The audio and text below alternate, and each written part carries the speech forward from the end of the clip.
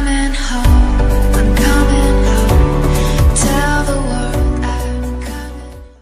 Witajcie moi drodzy, przechodzę do Was z horoskopem na marzec. Tym razem będę omawiała horoskop dla strzelców.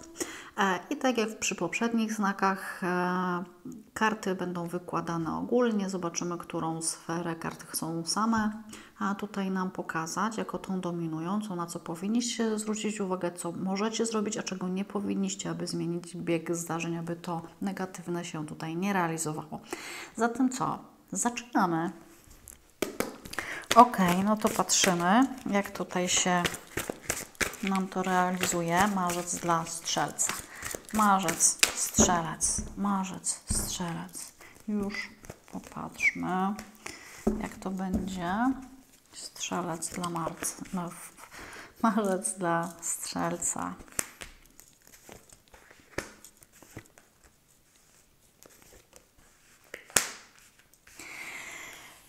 Drogie strzelce, zwróćcie uwagę na aspekt zdrówka, e, zwłaszcza kobiety, jeżeli chodzi o nogi, e, tutaj krążenie w żyłach, e, mi się pokazuje możliwe żylaki. Jeżeli już gdzieś tam Was bolewają nogi, macie uczucie ciężkości, bądź faktycznie macie żylaki, one są do kontroli. To jest pierwsza podpowiedź.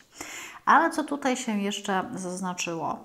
E, mm, strzelce długi czas samotne, gdzie tą samotność już mają niejako wrysowaną w swoje życie. E, jest, pojawi się mężczyzna, który może być tym właściwym, tym, na którym będziecie mogły się oprzeć, który będzie możliwie tym docelowym. Zostanie Wam on przedstawiony przez osoby z Waszego środowiska.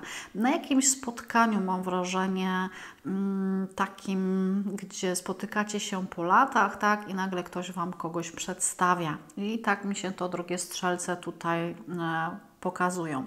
Dla osób zajętych czy w relacjach partnerskich, e, tutaj karty pokazują, że dobrze by było, gdybyście zaczęli również spotykać się w większym gronie, w gronie przyjaciół i żebyście zadbali nie tylko o swoją relację, to, ale również o przyjaciół. Bo w dzisiejszych czasach, o, gdzie mamy te wszelkie social media, no to wszyscy rozmawiamy ze sobą oczywiście, ale poprzez okienko komputera czy też telefonu e, i nie ma tych spotkań twarzą w twarz, a szkoda.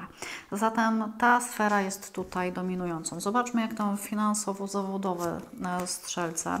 Uważajcie na wszelkiego rodzaju, kochani, sprawy urzędowo-sądowe, administracyjne dotyczące pracy czy finansów, bo tutaj karty pokazują, że przy Was taka e, historia się może pojawić. Jest zbyt bardzo dużo dużo lęków, obaw w głowie, które się pokazują.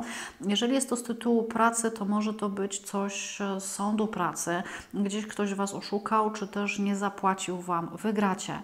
Jak najbardziej te działania będą tutaj dla Was pozytywne. Te osoby będą szyły jak tylko można, będą opowiadały nie wiadomo jakie historie, ale Wy jak najbardziej tutaj dacie. Dacie radę, mimo że będzie wyglądało, że stracicie, to zyskacie. Zatem tutaj również w kwestiach tych zawodowo-finansowych rozliczycie się z przeszłością i to rozliczenie będzie dla Was na in plus. Zatem fajnie. E, zobaczmy, jaki ogólny rozrachunek. To, co zasialiście, będziecie zbierać przez kolejne miesiące. A zatem bardzo fajna karta na koniec dla Was, kochane strzelce.